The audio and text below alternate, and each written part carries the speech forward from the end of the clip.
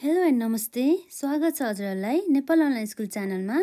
आज हामी यहाँ बिबिएस थर्ड इयर अन्तर्गत बिजनेस लमा हाम्रो हामीले पढिरहेका थियौँ। बेलमेन्ट है। बेलमेन्ट प्लस अब हामीले यहाँ कभर गर्न बाँकी हाम्रो टपिक भनेको के हो थियो भन्दाखेरि जुन प्लेजीसँग सम्बन्धित यसका इसेन्सियल क्यारेक्टरिस्टिक्सहरू र साथै हाम्रो rights or the duties of the pawnor pawnee दुवैको अधिकार र दायित्वहरू चाहिँ हामीले यहाँ कभर गर्न बाँकी थियो। जुन जस्तै हाम्रो एक्जाममा हामीलाई यदि सोधिहाल्यो भनेदेखि हामीलाई जुन फिफ्टिन मार्क्समा लङ क्वेसनमा हामीलाई सबै सोध्न सक्छ कि? जस्तै हामीले यहाँ क्वेसन हजुरहरू देखिरहनु भएको छ। डिफाइन प्लेस भन्छ है। र यसपछि अब हामीलाई discuss the rights and the duties of the pawnor and the pawnee भनेर यसरी चाहिँ मार्कहरू चाहिँ प्रत्येक यो क्वेसनको लागि र प्रत्येकहरूको हाम्रो यो duties rights of the pawnor pawnee र यसरी प्लेजरको डिफाइन जुन डेफिनेसन हो यिनीहरूको चाहिँ लागि चाहिँ छुट्टा छुट्टै जुन हाम्रो मार्क चाहिँ एलो के गरेको हुन्छ त? एलोकेट गरिएको हुन्छ है त? र आज हामीले यहाँ सुरुमा हेर्छौँ जुन हामीले जस्तै प्लेज र अब अर्को हाम्रो के हो त? Rights and the duties of the pawnor and the पाउनीलाई cover गर्नुभन्दा अगाडि हामीले यस भिडियो यसमा हामीले यसमा मेन लेख्नुपर्ने भने के हो त? यो क्वेसनको लागि सुरुमा जुन प्लेजको डेफिनेसन त मैले लेखिनँ यहाँ किन भन्दाखेरि अलरेडी हजुरलाई थाहा छ प्लेज भने के हो भनेर है हामीले यतिसम्म पढ्दाखेरि। र अब हामी यहाँ डाइरेक्टली जुन हामीले इसेन्सियल क्यारेक्टरिस्टिक्स अफ द प्लेजको बारेमा चाहिँ हामी यहाँ छलफल गर्छौँ है त? जस्तै हामीलाई थाहा छ नर्मली प्लेजमा चाहिँ के हुन्छ? डेलिभरी अफ द गुड्स हुन्छ। गुड्स बेलमेन्टमा जस्तो जस्ट गुड्स मात्रै डेलिभर नभएर यसमा भ्यालुएबल अथवा डकुमेन्ट्सहरू पनि जुन हाम्रो के हुन्छ त? मुभेबल प्रपर्टी हुन सकिन्छ अथवा के हुन सकिन्छ त? इमुभेबल प्रपर्टी त हुन सक्दैन होइन? हो त्यस्ता कुराहरू चाहिँ हामीले यहाँ पढ्न सक्छ है? जस्तो अब यसको क्यारेक्टरिस्टिकभित्र पढ्ने भनेको अब के हुन्छ त? यसमा चाहिँ पाउनर पनि हुन्छ र पाउनी पनि हुन्छ।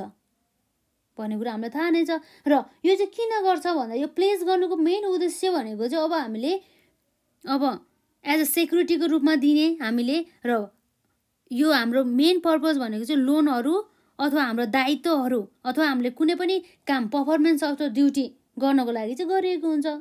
होइन त? हो यस्ता कुराहरू चाहिँ हाम्रो यो क्यारेक्टरिस्टिक्स अन्तर अन्तर्गत चाहिँ पर्दछ जुन हामीले अलरेडी पढिसक्यौँ त्यही पनि अब हामी यहाँ लेख्छौँ है त। यहाँ हाम्रो रहेको छ यसैमा।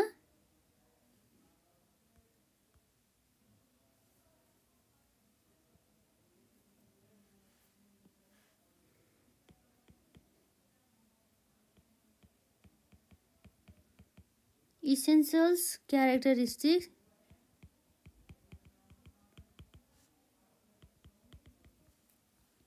जसमा हाम्रो इसेन्सियल क्यारेक्टरिस्टिक्स अन्तर्गत पर्ने भने के हो त? नम्बर एमा रहेको छ it is delivery of goods not only goods है यसलाई याद गर्नु होला। भ्यालुएबल प्लस अरू के हुन सकिन्छ त? कागजपत्रहरू।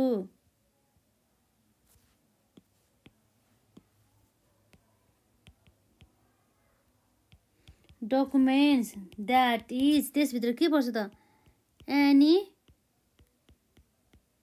मुभेबल प्रपर्टी र यसपछि अब हाम्रो नम्बर बीमा पर्ने भने के हो त? फ्रम कोबाट त? यसरी गुड्सहरू डेलिभर गर्ने भनेको हो त यसमा भन्दाखेरि? पाउनर अथवा हामीले यसलाई पाउन्ड पनि भन्छौँ अथवा प्लेजर पनि भन्छौँ है त। धेरै नामहरू छ है। नझुकिनु होला। अरू टुकललाई भन्दा चाहिँ पाउने अथवा प्लेजीलाई है यसमा है। र अर्को हाम्रो नम्बर सीमा रहेको छ फर सेक्युरिटी किन त भन्दा चाहिँ फर सेक्युरिटी एज अ धितोको रूपमा है त। यसरी चाहिँ गुड्स अथवा यसरी डकुमेन्ट्सहरू चाहिँ डेलिभर गरिन्छ। For the security of the debts भन्ने कुरा भयो। र यसपछि अब हाम्रो के हुनसक्छ त? Number डीमा after the payment of debts the goods must return यसरी रिटर्न गर्नुपर्छ भनेर त हामीलाई थाहा छ नि है। Must return to the true owner वास्तविक ओनरलाई यसरी चाहिँ रिटर्न गर्नुपर्छ यसरी नोट डाउन गर्दै पढ्दै गर्नु होला है झन् इजिली हामीले चाहिँ रिटर्न गर्न सक्छ कि माइन्डमा र एक्जाममा पनि हामीलाई लेख्नको लागि एकदम सहज हुन्छ किन भन्दाखेरि जहिले पनि हामीले आज थ्योरीको रूपमा पढिरहेको हुन्छ नि त होइन? र यसरी पढिरहँदाखेरि कहिलेकाहीँ अब हामीले एक्ज्याक्ट कस्तो हुन्छ भने माइन्ड चाहिँ अब एकोर हुन सकिन्छ नि त तर हामीले यसरी लेखेर गर्दाखेरि चाहिँ छिट्टो याद पनि हुन्छ र पछि धेरै समयसम्म चाहिँ याद रहिरहन्छ है त। यसमा if debts are not paid if if debts are not paid the pawnee can sell the goods भन्ने कुरा भयो है त। यदि चाहिँ जुन हाम्रो पाउनर अथवा पाउन अथवा हाम्रो प्लेजरले चाहिँ के भन्छ भन्दाखेरि चाहिँ यदि उसले समयमा नै उसले चाहिँ आफ्नो दायित्वहरू वहन गरेन उसले पेमेन्टै गरेन अथवा उसले के गरेन भन्दाखेरि अथवा उसले के भन्दाखेरि के गरेन त? उसले चाहिँ आफूले गर्नुपर्ने कामहरू पनि गरेन भनेदेखि त्यस्तो अवस्थामा अब हाम्रो के हुन पुग्ने भयो त यो? त्यस्तो अवस्थामा उसले जुन हाम्रो रिसिभर अथवा हाम्रो यो पाउनेले के गर्नुपर्ने भयो त? त्यसलाई चाहिँ अब बेच्न पाउने चाहिँ उसँग चाहिँ अधिकार हुन आउने भयो है त? यसरी हाम्रो पाँचवटा मुख्य विशेषता अथवा क्यारेक्टरिस्टिक्सहरू रहेको छ जुन हाम्रो प्लेजमा छ है त? के छ त हाम्रो इसेन्सियल क्यारेक्टरिस्टिक्स अन्तर्गत हाम्रो नम्बर एमा के छ यसमा? It is delivery of the goods valuable or the documents that is any movable property movable property भनेको चाहिँ थाहा छ जसलाई हामीले एक ठाउँबाट अर्को ठाउँमा चाहिँ हामीले के गर्न सक्छौँ त्यसलाई ट्रान्सफर गर्न सक्छौँ सार्न सक्छौँ है त? र नम्बर बीमा रहेको छ हाम्रो यहाँ from pawnor or pawnor to the pawnee यो त हामीले पाउनरको हो र पाउनेको हो भने हामीले चाहिँ यसो छुट्याउनु जानुपर्छ है? र हामीले किन भन्दाखेरि चाहिँ for the security of the dept as a धितोको रूपमा हामीले जुन लिएको हुन्छ नि त्यो डेप्टको चाहिँ सेक्युरिटीको रूपमा। र नम्बर डीमा रहेको छ after the payment of the dept the goods must return to the true owner भन्ने कुरा हो है? र नम्बर ईमा चाहिँ हाम्रो if debts are not paid the pawnee cancel the goods भन्ने कुरा भयो है? यो भयो हाम्रो essential characteristics of the pledge र अब हामी यहाँ हेर्छौँ जुन हाम्रो पाउनरको राइट्सको बारेमा। Rights of pawnor. जुन हाम्रो पाउनरको राइट्सभित्र के पर्छ त? नम्बर एमा रहेको छ जस्तै यो पाउनर जसले चाहिँ गुड्स डेलिभर गर्छ उसले चाहिँ अब के गर्छ त? जुन उसले चाहिँ डेप्टलाई चाहिँ रिडिम गर्न पाउने चाहिँ उसँग चाहिँ के हुन्छ? राइट हुने अधिकार हुन्छ है त? उसँग चाहिँ राइट टु रिडिम डेप्ट भन्ने कुरा भयो। अर्थात् के भन्दा चाहिँ उसले चाहिँ आफ्नो डेप्टलाई चाहिँ रिपेमेन्ट गर्न पाउने चाहिँ उसँग के हुन्छ त? अधिकार हुन्छ। उसले चाहिँ आफूले लिएको जुन लोन छ अथवा डेप छ त्यसलाई चाहिँ तिर्न पाउँछ भन्ने कुरा मात्रै गर्छ है त? जुन उसले तिर्ने भनेको के हो त भन्दाखेरि आफ्टर द फिक्स टाइममा चाहिँ उसले पेड गर्ने गर्छ। यति भने है। र अर्को छ हाम्रो नम्बर बिमा। यो हाम्रो राइट अफ द पाउनर अन्तर्गत नै रहेको छ।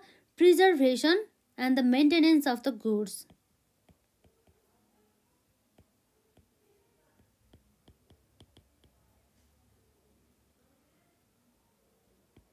and maintenance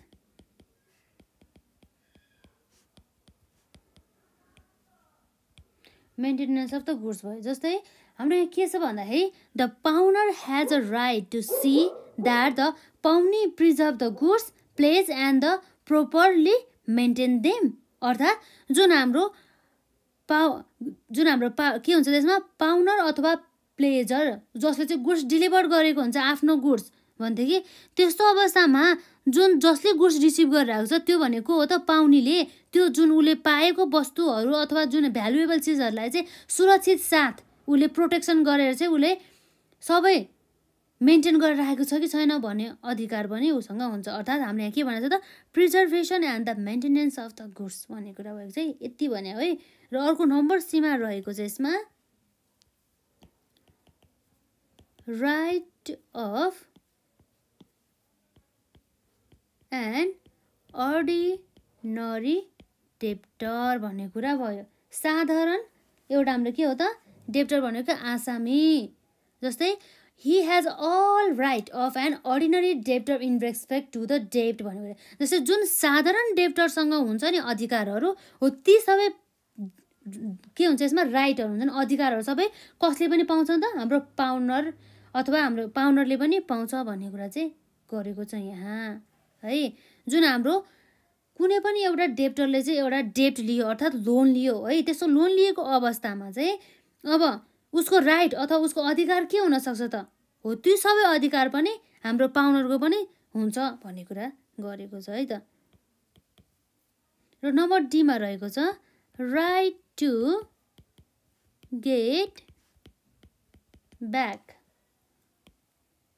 goods pledge जुन हाम्रो एज अ सेक्युरिटीको रूपमा पाउनरले गुड्स डेलिभर गरेको हुन्छ नि हो त्यो गुड्स चाहिँ पछि उसले चाहिँ आफूले पेमेन्ट गरिसकेपछि उसले आफ्नो दायित्व वहन गरेपछि अथवा उसले गर्नुपर्ने काम गरिसकेपछि अथवा उसले हामीले दिनुपर्ने एमाउन्ट उसले दिइसकेपछि उसले चाहिँ जुन एज अ सेक्युरिटी रूपमा उसले प्लेस गरेको गुड्सलाई डेलिभर गराएको थियो नि हो त्यसलाई चाहिँ उसले रिटर्न ब्याक गर्न चाहिँ पाउने अधिकार चाहिँ उसँग हुन्छ भन्ने कुरा चाहिँ यहाँ गरेको छ।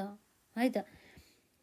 जस्तै यहाँ भनेको छ on the repayment of the loans or the debt and the interest if any the pawnor is entitle to get back the goods pledge भन्ने कुरा रहेको छ है? नर्मल रहेको छ। यसरी चाहिँ हामीले चारवटा मुख्य हाम्रो अधिकार देखिन सकिन्छौँ है त पाउनरको। त्यसमा हाम्रो के छ त? अब हामी एकपल्ट फेरि यसलाई रिभ्यू गरौँ। राइट अफ द पाउनर अन्तर्गत हाम्रो नम्बर एमा थियो। राइट टु रिडिम डेप्ट एकदम सजिलो छ है। तर है यसलाई हामीले पोइन्टहरू एकदम याद गऱ्यो भनेदेखि हामीले नर्मल्ली हामीले जस्तै भनौँ न हामीले सामान्य जीवनमा गर्ने जस्तै एक्टिभिटिजहरू सबै पढ्छ हामीले सजिलो बुझ्न सक्छौँ है यसमा।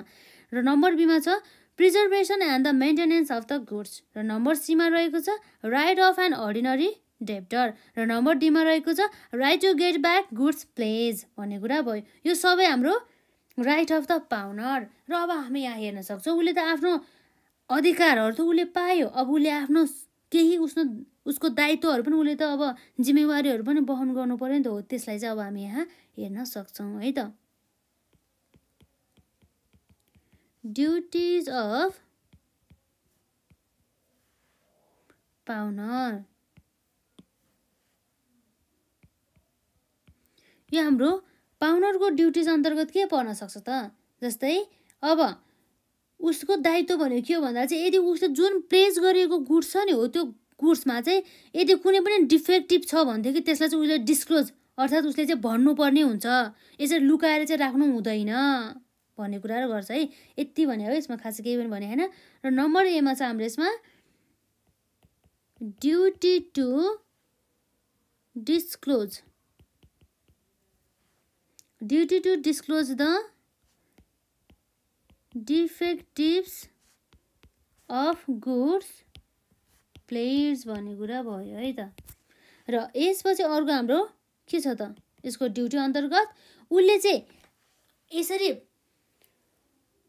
प्लेस गरिसकेपछि उसले चाहिँ के हुन्छ भन्दा चाहिँ उसले सर्टेन समय अवधिपछि उसले गर्नुपर्ने काम उसले पर्फर्मेन्सहरू पुरा गर्नु पऱ्यो र साथै उसले चाहिँ उसले दिनुपर्ने इन्ट्रेस्टहरूदेखि लिएर ब्याजहरू भयो र प्रिन्सिपल पोर्सन डेप्टहरू सबै प्रकारको उसले तिर्नुपर्ने जुन ड्युजहरू हुन्छ नि उसले चाहिँ त्यो गुडसँग सम्बन्धित जुन प्लेस गरियो गुडसँग सम्बन्धित सबै चाहिँ उसले चाहिँ पे गर्नुपर्छ दिनुपर्छ भन्ने कुरा चाहिँ गर्छ है त। जस्तै हाम्रो नम्बर बीमा रहेको छ हाम्रो यहाँ। Duty to pay. Pay the debts interest. And all dues in respect of goods place.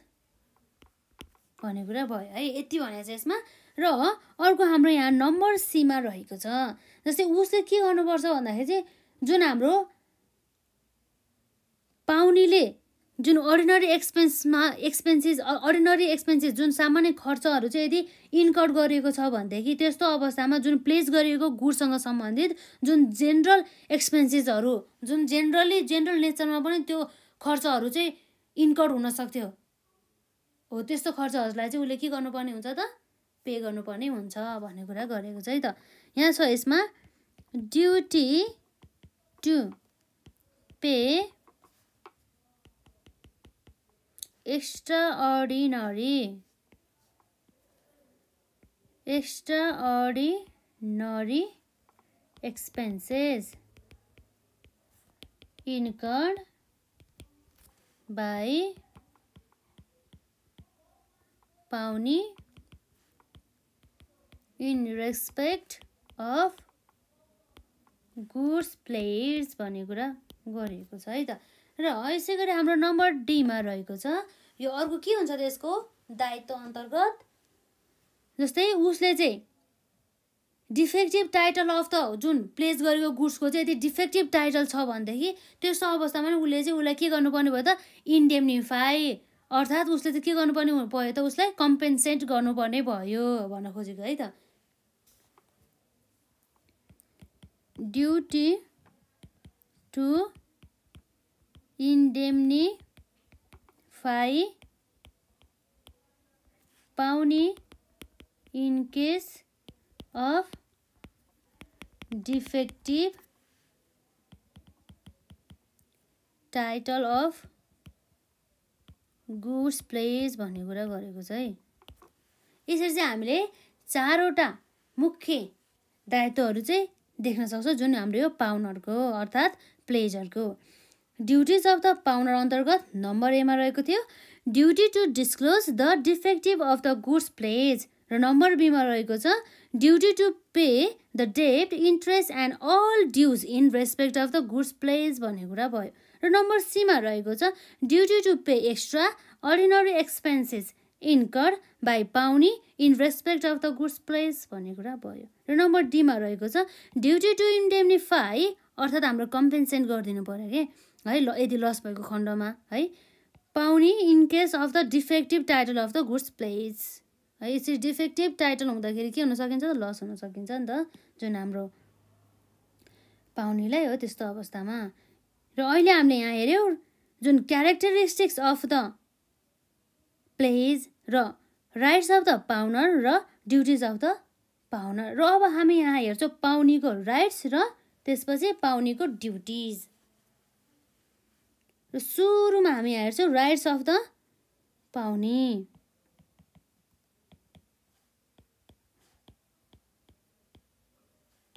Rights of the pawnee. जुन हाम्रो पाउनेको चाहिँ कस्तो अधिकार हुन्छ त?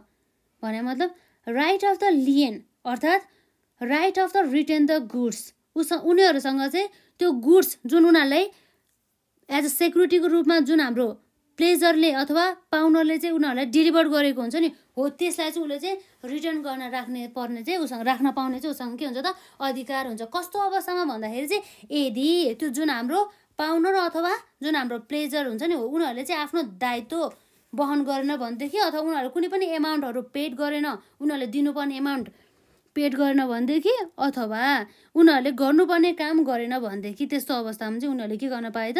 त्यो गुड्सलाई चाहिँ त्यो सेक्युरिटीको रूपमा राखेको जुन डेलिभर गरेको गुड्सलाई चाहिँ उनीहरूले रिटर्न गर्न पायो। जस्तै हाम्रो यहाँ नम्बर एमा रहेको छ है त। Right to retain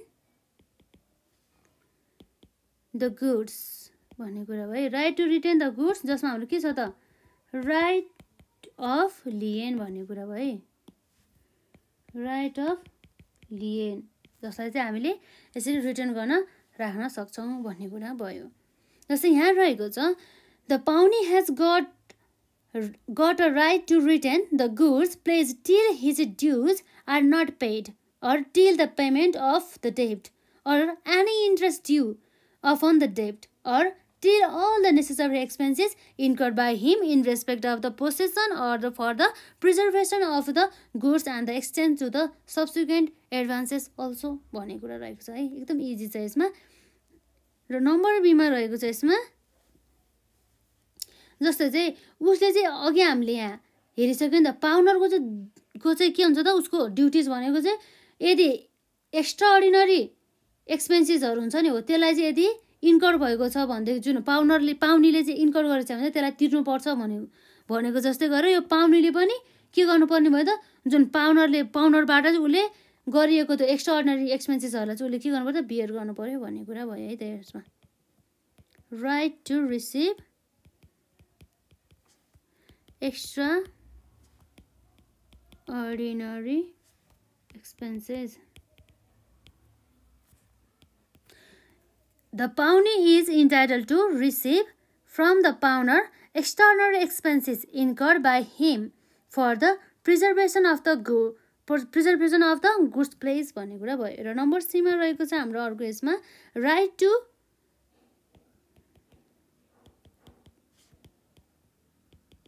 right to against true owner when the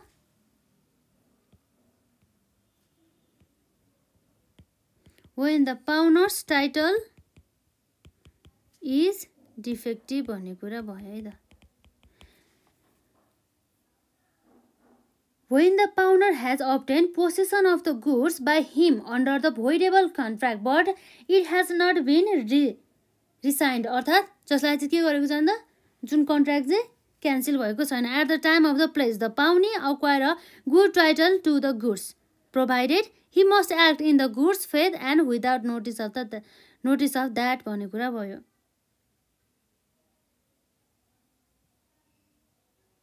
त्यो कुरा भयो यसमा।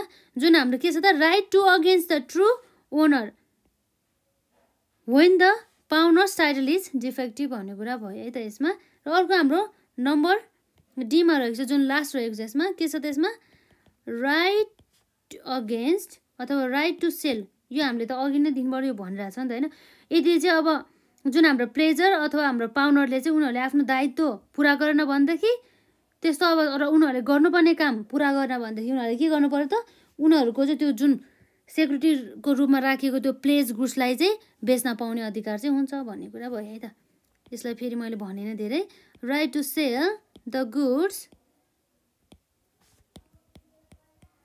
pledge भन्ने कुरा भयो है? र यहाँ रहेको छ way the pawnor fails to pay the debts the pawnee can retain the goods until his debt are not paid further if pawnor did not pay the debts are not satisfied he can claim for the repayment and if there is any surplus he must retain to the pawnor भन्ने कुरा भयो है?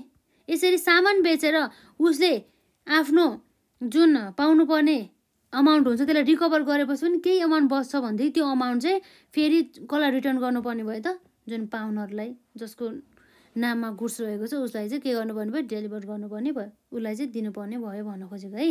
र यसरी हामीले चारवटा rights of the पाउनी हेऱ्यो है जुन हाम्रो नर्मलै थियो। र नम्बर एमा के छ त? Right to retain the goods अर्थात् right right of the lien भनिन्छ यसलाई। र अर्को हाम्रो नम्बर बीमा रहेको छ। Right to receive extraordinary expenses र नम्बर सीमा रहेको छ। Right to against true owner when the pawnor title is defective भन्ने कुरा भयो। र नम्बर डीमा छ। Right to sell the goods pledge भन्ने कुरा भयो है त। र अब हामी यहाँ हेर्न सक्छौँ।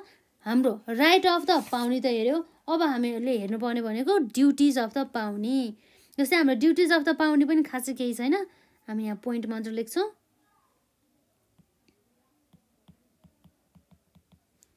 ड्युटिज अफ पाउने।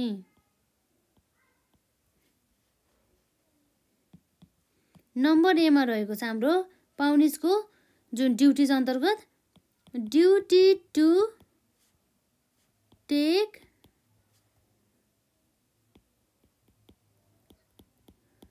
reasonable care of the goods अर्थात् के भन्दा चाहिँ उसले रिसिभ गरेको जुन एज अ सेक्युरिटी रूपमा जुन गुड्सहरूदेखि लिएर कागजपत्रहरू त्यो सबैलाई चाहिँ उसले चाहिँ आफैले सक्दो त्यसलाई चाहिँ केयर गर्नुपर्ने हुन्छ। कुनै पनि प्रकारको हानि नोक्सानीहरू चाहिँ सकेसम्म चाहिँ त्यसमा चाहिँ ल्याउनु भएन भन्ने कुरा रहेको छ। है त यसमा।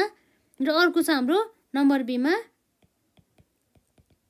duty to redeem the debt भन्ने कुरा भयो। जस्तै उसले त अब जस्तै के गर्नुभयो त? जुन पाउनेको चाहिँ अधिकार के हो त? त्यो डेपलाई चाहिँ रिडिम गर्नुपर्ने हुनुपर्ने उसको चाहिँ दायित्व हुन्छ।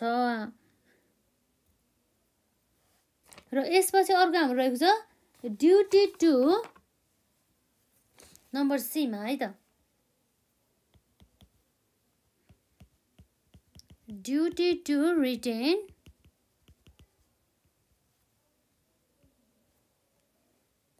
any surplus where he sells the goods place in case of default भन्ने कुरा भयो है डिफल्ट अफ पाउनर यसै गरी हाम्रो नम्बर डीमा रहेको छ। Duty to return. The goods. गुड्सलाई return गर्नु पऱ्यो when all debts dues and interest are paid by pawnor भन्ने कुरा भयो है। के के रहेछ त हाम्रो यसमा? ड्युटिज अफ द पाउने अन्तर्गत। नम्बर एमा duty to take reasonable care of the goods र duty to redeem the debt जुन हाम्रो दुई नम्बरमा रहेको छ बीमा?